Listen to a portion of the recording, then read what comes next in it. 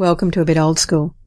Audacity is a great free recording program, but it lacks the ability to export the recording to MP3 file format. This video explains how to add the additional program required, making this possible. Once your Audacity recording is completed and saved, go to File, Export. Give your file a name.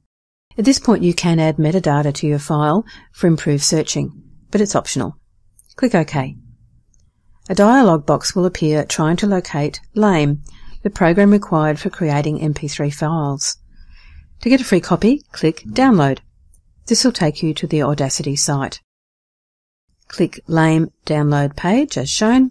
Scroll down, ignore the advertising.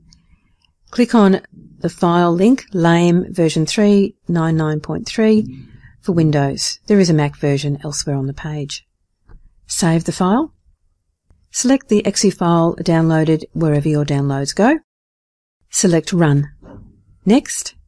Unless you'd like another location for the program, click Next. Then Install and Finish. Exporting Audacity files as MP3 files will now be possible.